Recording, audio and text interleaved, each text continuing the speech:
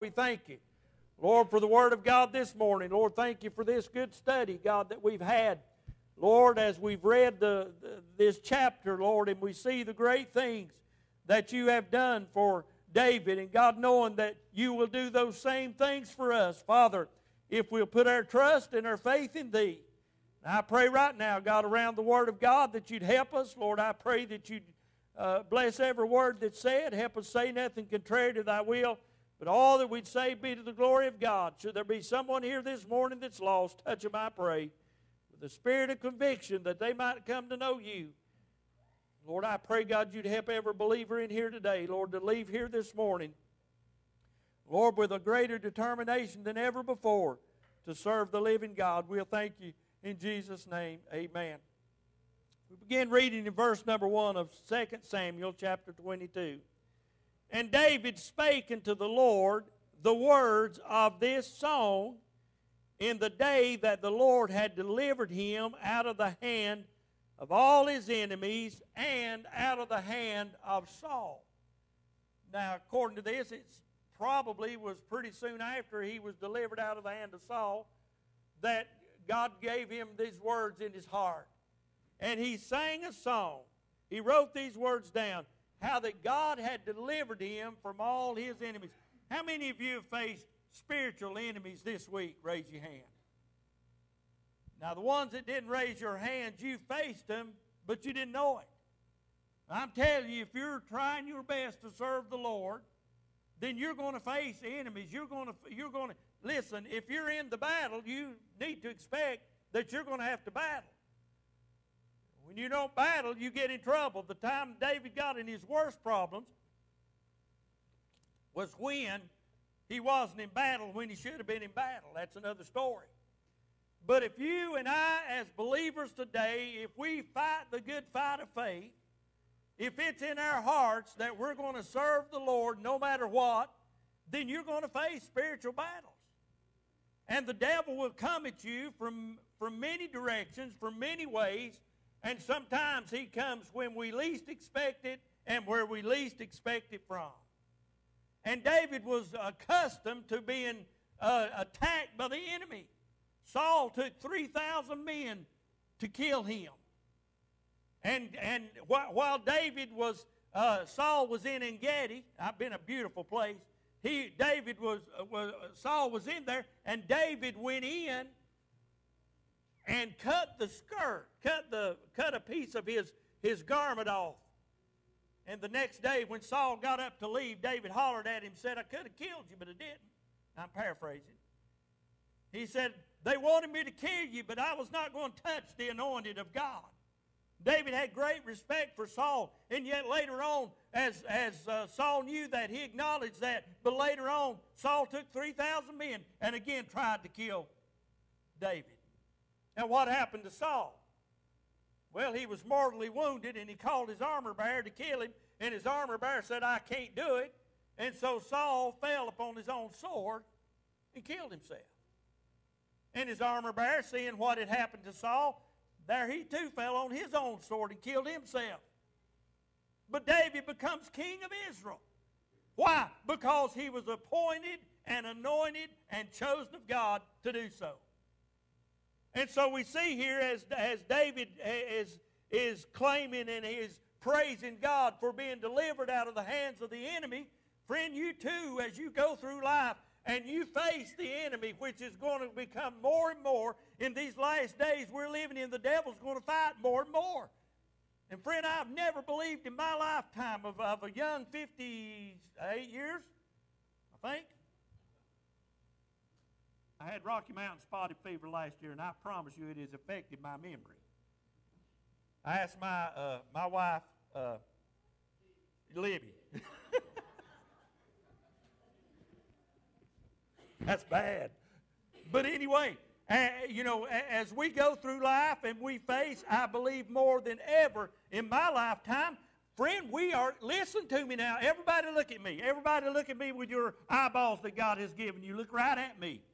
We are living close to the coming of the Lord. Get that. Think on that. Prepare for that because we're living in perilous times. We're living in last days. And, you know, as, as we go through life and face battles that we're going to face, we're going to need the same God to help us that David needed to help him. We've got to have the help of God. And that's what David realized. He realized I have to have God's help. When he killed the Goliath, when he killed Goliath the giant, he knew that he could not do it on his own, but he said, My God, he said, My Lord, he will deliver me out of hand of this, this Philistine. And guess what? God delivered him again. Amen. And I tell you today, by the help of an Almighty God and by the truth of the voice, I believe we're living in the last days according to the Word of God. We're there, friend. And the battle is being fought, and we're going to listen. You will either you will either win the battle by the help of God, or you'll die in defeat. Friend, I to tell you something. I told you I didn't know which way this message is going. Here we go. I want to tell you something. We're in, the, we're in a fight with the world, the flesh, and the devil. We need to wake up. We need to see and understand. You know, me and my wife was talking on the way to church. And I don't want to be a pessimist, and I'm not. And I believe in the power of God as much as I ever have. But, friend, our country is gone. And except God send revival, except God's people get under a burden for revival and call upon the name of God, America is gone as we once knew it. And we might as well wake up and say, yes, you're right, it's gone.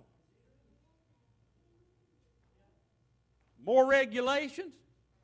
I was fussing this morning, Sister Ann. I get money from Ann for my vacation, but now it's my money, okay? I always explain this that she don't just give me money from the church's funds. It's my money. Frank, this probably don't need to be published today, but anyway. And uh, she holds out. I let her. I get her to hold out money, so I'll have money to go hunting and vacation and stuff. But anyway, I feel like I'm going to Fort Knox.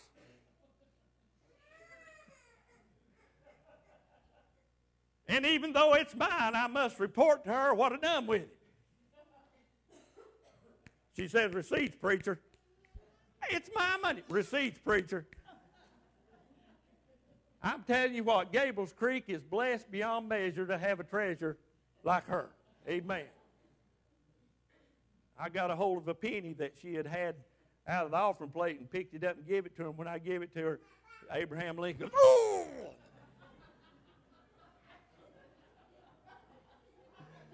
Ain't we having fun, sister?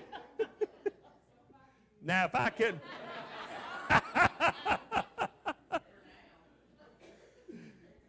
if I couldn't poke at her, amen, and, and, and me and her was real good about going on one another like that, and I done forgot what I was going to say when I was saying all of that. But I was, I was talking to her this morning, and I told her, I said, I'm probably going to have to have a little more, a little more hunting money because they went up on my hunting license. They're gouging you every way they go. It went up $20 since last year. That's a half tank of gas. So now I only go halfway to Raleigh. I guess I'll hunt down there in the middle of Greensboro so we come home. No, I'm just kidding. But anyway, listen, we're living in those days. Everybody is out. Seems like everybody's out to get you. The government wants more and more and more, and they, and they want less and less out of people, but they want to give them more and more. When has that ever been a good idea? Somebody explain that to me. When is it ever a better idea to give people all that they want to have, you know, give it to them in their hand, and they don't have to do nothing for it? I go all over town, people want help everywhere. I try to hire people at work. They all go to work. Getting too many things handed to them. Now you say, what in the world has that got to do with David in 2 Samuel? I'm telling you, the days that we're living in are days that when we're going to have to battle. You, as a Christian, are going to have to armor up. We're going to have to man up, and we're going to have to hold our heads high as Christians and say, In this world, I'm going to live for the Lord. In this world, I'm going to serve the Lord. In spite of the devil, I'm going to serve the Lord. In spite of the enemy, I'm going to serve the Lord. Amen. But if we walk around and say, Well, things are always, that's right, little girl, uh oh.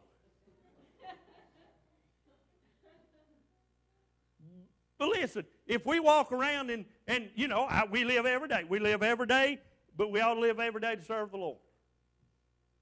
Now, does that mean we ought to quit everything else we're doing and go somewhere? No, you go, you go your daily life. You do the best you can walking in this world, but you serve the Lord in the meantime.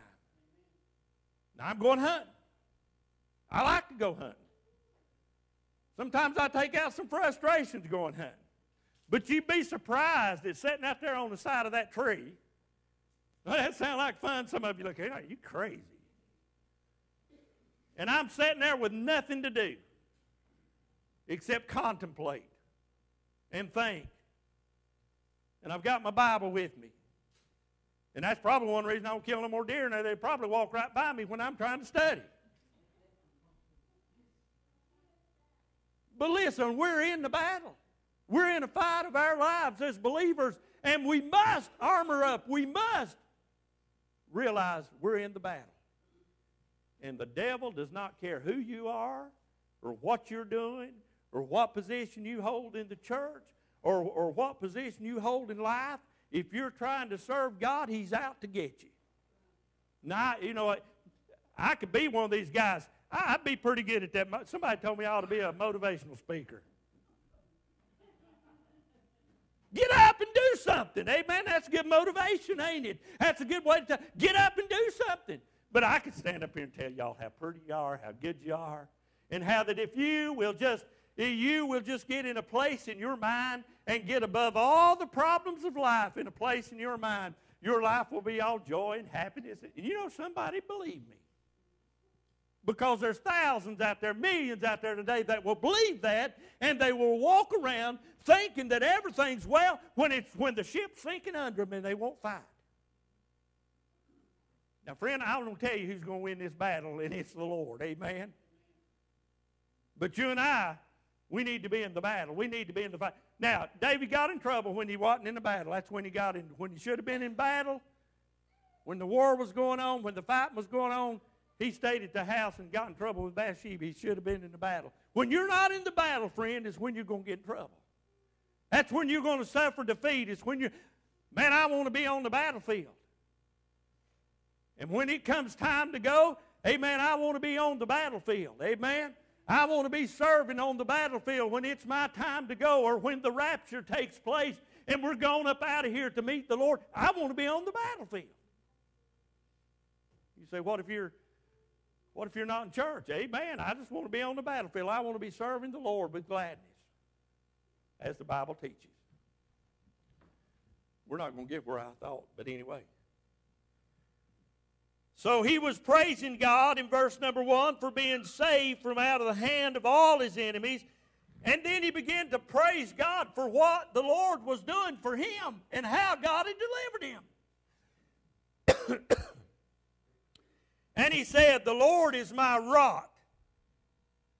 What is a rock? It's strength. The Lord is my fortress. What is that? It is protection. The Lord is my deliverer. What is that? It means God will deliver you, amen, in spite of what the world's got to throw at you and what the devil's got to throw at you. God will deliver. He's been doing it since the beginning of mankind, and God will do it till he comes home. He will deliver if we'll look for him as our deliverer. David looked for him to deliver, and God delivered out of the hand of the enemy. He is my shield. He, he, said, and he said, The Lord is my rock and my fortress and my deliverer. The God is my rock. In him will I trust.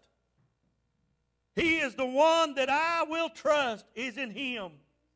He is my shield and the horn of my salvation. That's God. He's my. Did you know, friend, if you're serving the Lord and doing the will of God, that every day you go out, the devil's trying to get you somewhere or the other? I'm not trying to scare you, I'm telling you the truth. If you're trying to serve the Lord, you're an enemy of the devil. If you're praying, you're an enemy of the devil because prayer is where you and I get our strength. God, help me to pray more. Lord, help me to be more of a prayer warrior than I am. I fail, I fall so short in my prayer life. God, help me to pray more and to seek thy face more. But it angers the devil. And he don't want. That's why when you get down to pray and you start to call on God, that things you'd never thought about in a hundred years, if you'd lived that long, would come back to your mind. Something that went on during the day that automatically you not thought of will come through your mind, and a problem might need to. You know why? Because the devil tries his best to discourage you from praying. But David prayed to God. He called upon God, and he said, He's my shield, and He's my deliverer. He's the horn of my salvation, and He's my high tower from, to, to protect me from the enemy. Now, we face, you're going to face the enemy. And when you face the enemy, you're going to have to battle. Your only other opportunity is to turn and run. Oh, we, hey, listen, we need warriors. Christians need to be battlers. We need to fight the good fight of faith because Jesus is coming soon. The King is coming. Amen. He's going to say, hey, God's going to straighten it all out one of these days. Don't you worry a bit. God's going to straighten this whole mess out that this world has gotten into. But, friend, until He gets back, amen, hold the banner high. Amen. Say, charge and fight and be in the battle for the Lord. Amen. Get excited about serving God. Don't make me go through some of my illustrations of people that act happy to be saved. Amen. Don't be one of them. How many are glad you're saved? Say amen. Pretty good. Amen. Amen. I'm glad I'm saved. Now, if you're not glad you're saved, say amen. Quiet as a mouse. See, everybody's glad you're saved. Okay, you're glad you're saved. You're saved by the grace of God. You're going to heaven when you die. Amen. But don't be one of these, friend, that, is, that says you're saved and you're not happy about it. I'm saved. Are you saved? Yeah. How do you know? Well, I went to the altar, asked the Lord to come to my heart. Thrill, thrill. How many people would be happy to hear that testimony from you? Are you saved, sister? Amen. Amen. Who else can I pick out? Brother, you saved? You know the Lord? Amen. And I asked me that question. Yeah, yeah, I know him. now, how thrilling is that to anybody? I know that's humorous, but you know, I run into people like that. I run across people like that. They say they're saved, but you'd never know it by their action or by their reaction. And some of them's got such a filthy mouth, you know, God better, they better clean that up. God will cut, cut their tongue out. My wife's telling me about somebody that won't work at all, never work on Sunday morning at all, because they go to church on Sunday. But said, said they can cuss worse than anybody else she knows. What's wrong with that picture? Something wrong, ain't they? Which side of the fence are they on? I'm meddling, aren't I? Uh, but I'm telling you, friend, we need to be in the battle. We need to make up our minds as believers. Are we going to fight? Are we going to flee? Are we going to lay down and let somebody else do it? Amen. That's good preaching, preacher. Preach on. Amen. I'm telling you, we either fight or we flee. You're going to get trampled over if you don't serve the Lord and do the will of the Lord. But, preacher, I've got so many things to do. I've got so much I have to do. Life is so busy. Yes, it is.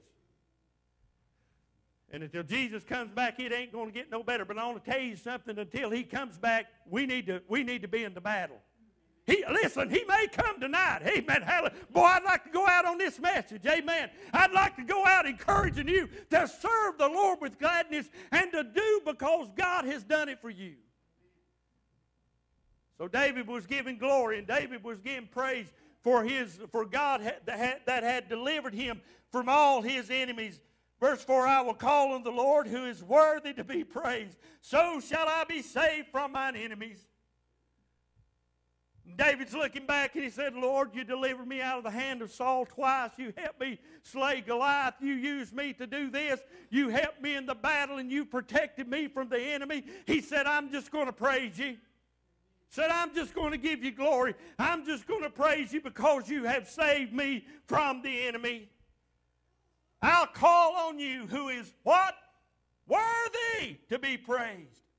Friend, I'm telling you, God's worthy to be praised. We'll heap praise on a lot of things, but we ought to heap praise upon God. We ought to praise the Lord. Amen. We ought to praise Him for helping us every day of our life. When we get out of the bed in the morning, the first thing I say is, Help, Lord. That's usually what I say. Help, Lord. Lord, thank you for giving me this day. Lord, I could be dead. I could be, I could be lost without God. I could already be in hell. But thank God for saving me and giving me another day. Amen. If you wake up like that, you say, Preacher, I don't wake up like that. But if you wake up like that and, and you say, Well, I, I don't know how to wake up like that. When you go to bed at night, say, Lord, thank you for this day you've given me. Lord, I've lived this day, and God, I thank you for helping me this day. Lord, help me to get up in the morning and serve you. You'll wake up in the morning, and it'll be on your heart. Amen and you set out to serve the Lord because He's worthy. He's worthy of our praise. He's worthy of our exaltation. He's worthy that we serve Him and to try to do His will by God's help and His alone. There's many times that I've got up and I've went out without the help of God.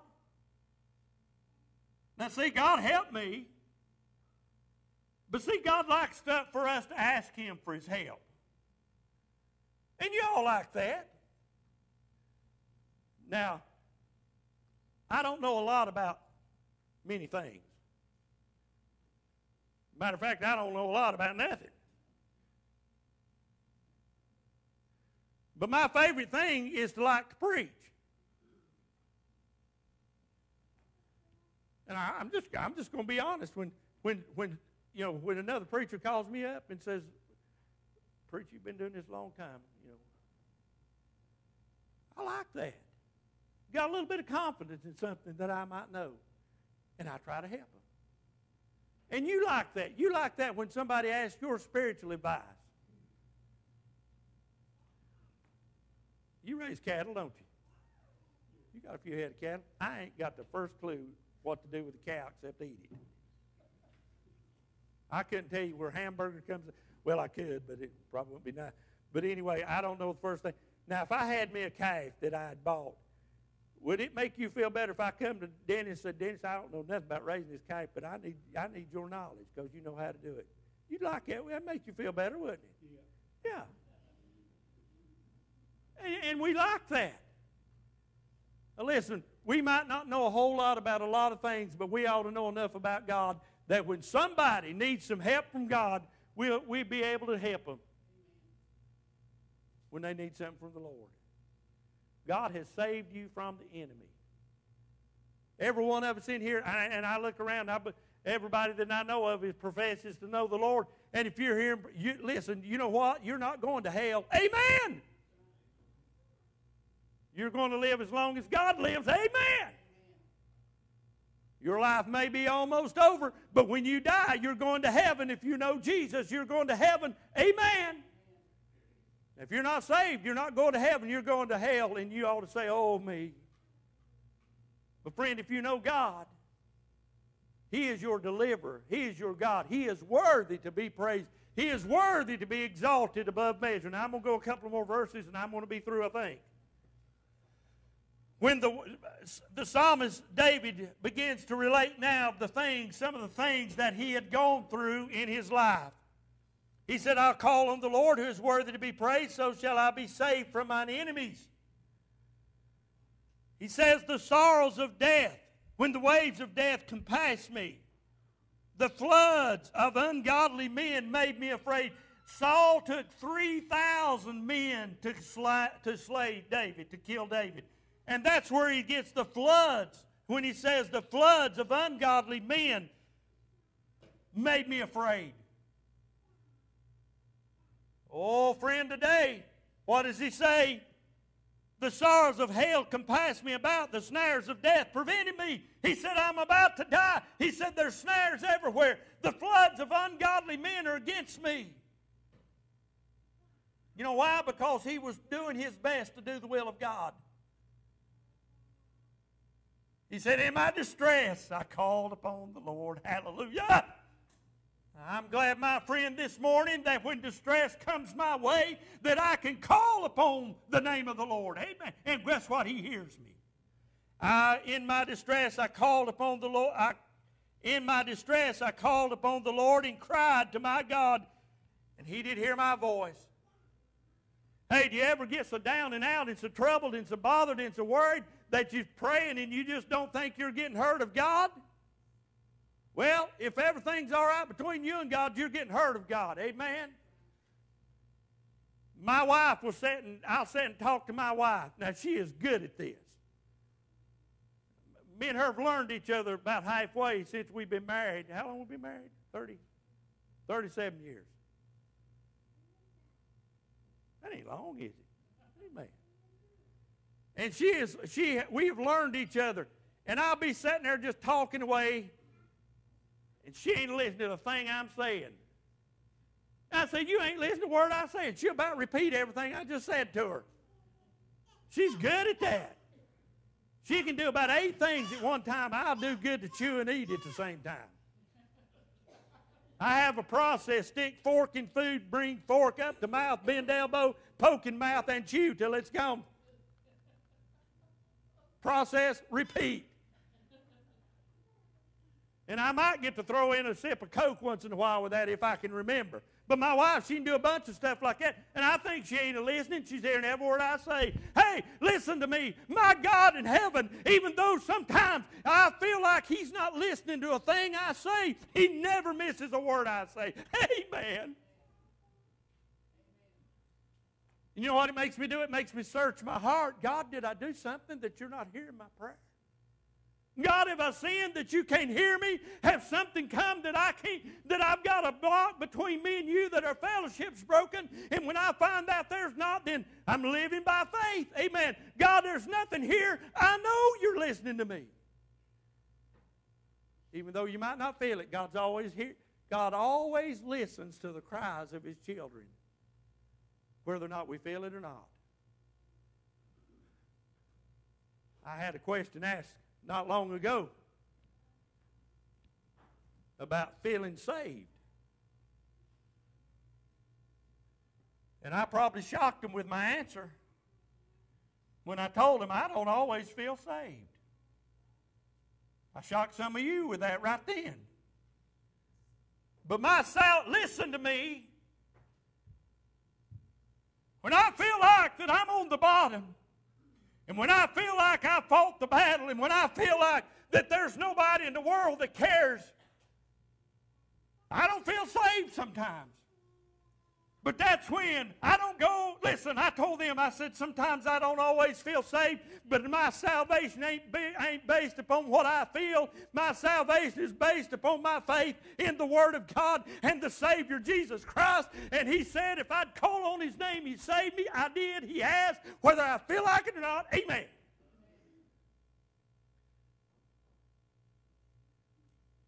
You might not always feel like you're saved, but if you've done what God said and done what the Bible said, you've called on the Lord and believed by faith in Him and put your trust in Him, then, friend, no matter how you feel, you're born again by the grace of God. And you just ought to shout, Amen, on the general principle that you know God, whether you feel like it or not. I don't feel like shouting, Amen.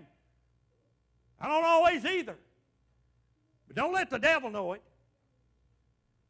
Amen. Don't let him know you don't feel like you're saved. So, salvation.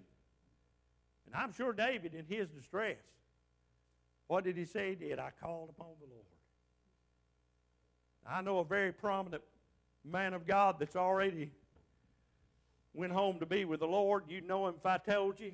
I'll just tell you, he's Ralph Sexton Sr. He made the comment one time.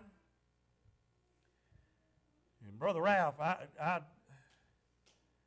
conversed with him quite a bit. Brother Ralph Sexton Sr. was a great man of God. Nobody can deny that. You can, but it'll be a lie. But he made the statement one time that he went at one time. He said, I went, he said, I went seven years without ever hearing from God. Seven years.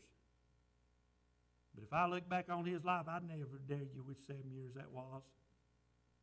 Oh, was God there with him? Yes. Was God using him? Yes. Was, but listen, he didn't feel like it. But God was hearing him. He was, listen, I'm telling you what, friend, we live by faith and not by sight. We live by faith and not by feelings. We live by faith and not what other people think. We're living by faith. And the psalmist said in here in Samuel, David said, In my distress, I called upon the Lord and cried to my God, and he did what? Hear my voice out of his temple. Hey, hey, Where's the temple of God? It's somewhere there around the throne of God. And God in heaven, David said, out of his temple, he heard me. Right out of the throne room of God, God heard me. And when he heard me and my cry did enter into his ears, guess what happened? God shook the earth. Then the earth shook and trembled. The foundation of heaven moved and shook because he was wroth. There went up a smoke out of his nostrils and fire out of his mouth The devoured coals were kindled by it. He bowed the heavens also and came down, and darkness was under his feet. And he rode upon a cherub and did fly, and, his, and he was seen upon the wings of the wind.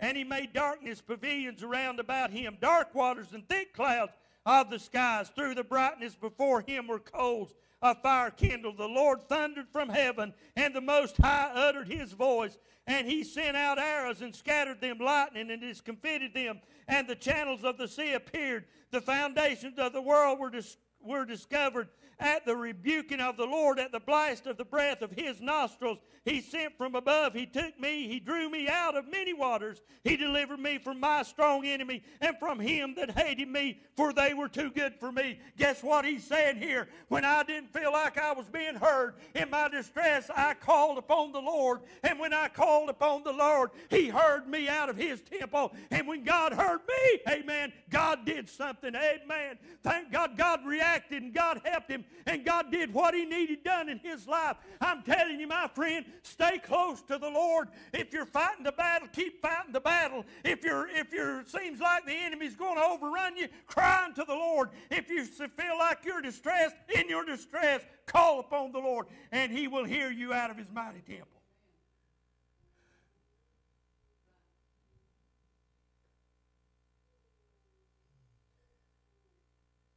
He delivered me from my strong enemy and from them that hated me, for they were too strong for me.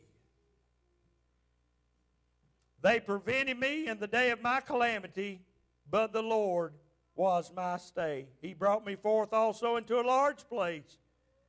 He delivered me because he delighted in me. You know God loves you? Did you know God cares for you? Did you know that in 1 Peter chapter 5 in verse number 7, he says, Casting all your care upon him, for he careth for you. I'm telling you, friend, today, if you're fighting a battle and don't know where it's going to end, I'll tell you where it'll end. It'll end with you, the victor, if you'll stay close to God. And listen, friend, if you think we're living in perilous times, you're right, we are. And what does that mean? We need, as believers, as the body of Christ, as warriors together, we need to fight the battle. Amen. We need to contend for the faith. We need to hold our heads high in this world. You say, but what about the terrorists of this world? Hold your head up. Amen. Hold your head high. What if they come to me, want me to renounce my faith? Amen. Look to Jesus, the author and finisher of your faith. Amen. And look to Him and say, God, help me. And the grace of God will be there when it comes time. Amen. So shall he save us from our enemies. Amen. I want to encourage you in the Lord today to fight. Fight the battle, good Christian friends. Fight the battles, you soldiers of the cross. Be a soldier. Get in there. Get on the front lines and serve the Lord with gladness. Father, we thank you for the word of God today. Lord, I'm through. I thank you for your help. God, I pray that you'd encourage us in the Lord. Father, I pray that you'd help us in the Lord that we might fight the battle to be good soldiers of the cross. Lord, the devil tries us and the devil tempts us, and God, in many ways he's got to deceive us, in many ways he's got to try to destroy us. But God, help us to be sensitive to the Spirit of God and have discernment when the devil's trying to fight. That God, we know, and God, we look to Thee. Because you are our refuge and strength. You're a very present help in time of trouble. There be someone here today, God, that thinks the battle's lost. I pray, God, you'd encourage their hearts. There's someone here today that's lost. I pray that you convict them of sin, that they'll come to you in Jesus' name.